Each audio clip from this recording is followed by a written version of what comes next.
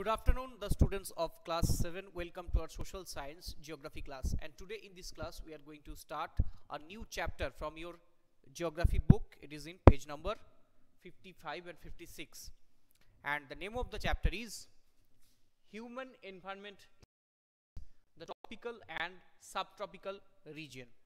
So from the name, you can easily understood that today we are going to discuss about the region those are situated in the tropical region and subtropical. So and in our today's class we are going to discuss first from that chapter the first subunit life in the amazon basin. It is from chapter number 8 so let's begin our today's class. That you know that amazon is the largest river of the world. And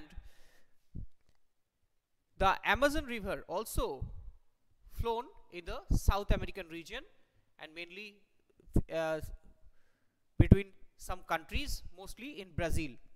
And it created a rainforest region with full with some biodiversity. So this your book page number 56 that the tropical region lies equator. This in the map present in your book page number 56 you can see clearly. So between 10 degree north to 10 degree south latitude it is situated and it is referred to as the equatorial region because the equator means 0 degree passed through this region and the river Amazon flows through this uh, entire area and notice how it flows from the mountains to the west from the Andes mountains and the reaches uh, the Atlantic Ocean to the east. And the place where a river flows into another body of the water is called the river's mouth or estuary. So numerous tributaries join the Amazon river from the Amazon basin and the river basin drains portions of Brazil, parts of Peru, another country, the Ecuador, Bolivia, Colombia and a small part of the country Venezuela. So name of the countries of the basin through which the equator passes you can so from that question you can easily answer that these six countries were inside this Amazon basin where the all the tributaries of Amazon along with the tributaries the Amazon river flows and created a dense rainforest. So when the Spanish explorers discovered the South America and the Amazon river they were attacked by a group of local tribes wearing headgears and grass skirts. So these people rem uh, reminded them of the fierce tribes of women warriors known in the ancient Roman Empire as the Amazons.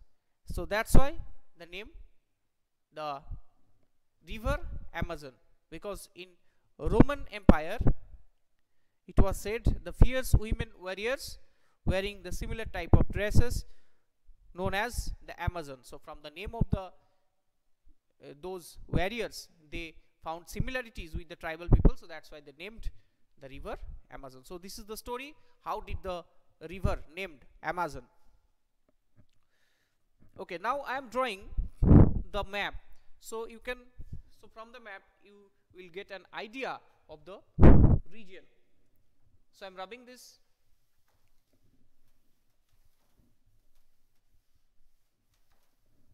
So look at carefully, look at the board.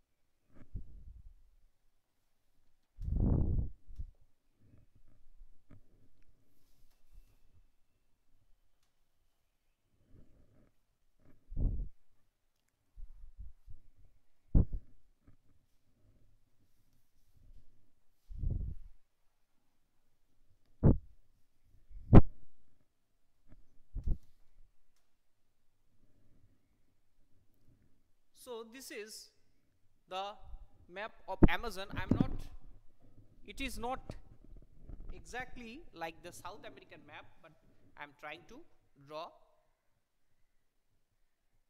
So now you can see the full map clearly. Okay. So now the amazon river is flown in this region from here and from Andes to the Atlantic Ocean. And with lot of tributaries and distributaries. And this region is known as the Amazon basin. Okay this entire area known as the Amazon basin. Because all these rivers and the Amazon river deposited alluvial on this region and made it a very fertile region. And because of the number of trees were there so it is very fertile and dense forest also situated in this region. So now the climate of the amazon forest. You have to know about the climate of the amazon forest.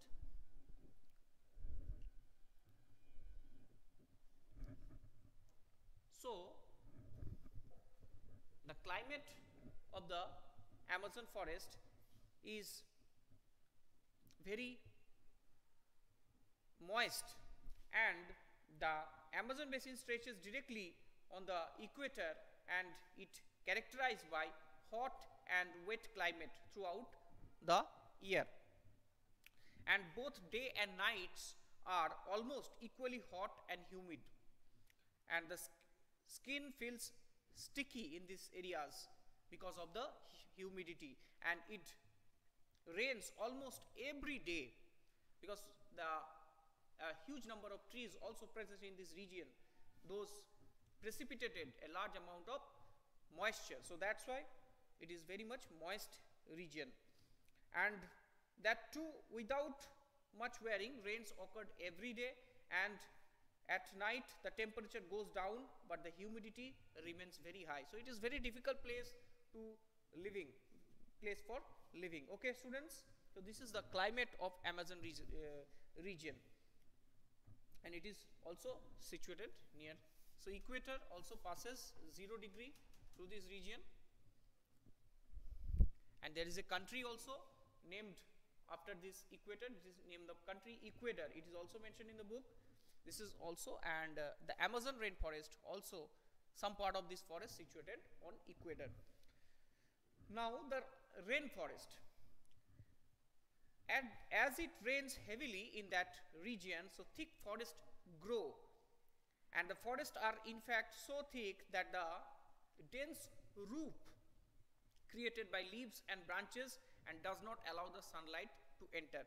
So the canopies means the umbrella like the shapes created by the cover created by the leaves. It's so dense that sunlight it does not allow the sunlight to reach the ground. And the ground remains dark and damp all the time and only shade tolerant vegetation. Shade tolerant vegetation means those vegetations they can survive on the dark and shady environment they may grow here. So some kind of orchids like bromeliads grow as plant parasites. Orchids and bromeliads, these are some plant parasite. They are actually grown on some the on the branches of some big trees. And the rainforest is rich with fauna also. Fauna means the animals. So birds such as toucans, toucans and paradise, bird of paradise, the hummingbird, the smallest bird of the world, these type of birds were found in the Amazon rainforest. And also there are observed bills for eating make them difficult from birds as we commonly see in India. So these birds are brilliantly colored, plumaged and oversized bills for eating make them different from birds we commonly found in India. So these birds also make loud sounds in the forest and animals like monkeys, sloth and ant eating tapir. Tapir also an animal is the picture is present in your book. It is looks like a pig. It is also found half elephant half pig in this forest of Amazon. And monkeys various type of monkeys including marmoset monkeys are very uh, common in this forest. And sloth a bear like animal. So various species of reptiles and snakes also found in amazon rainforest. Like crocodiles crocodiles various type of snakes the pythons found in this region anaconda and boa are boa constrictor are some of the species of snakes, non-venomous snakes that were found that are found in this forest.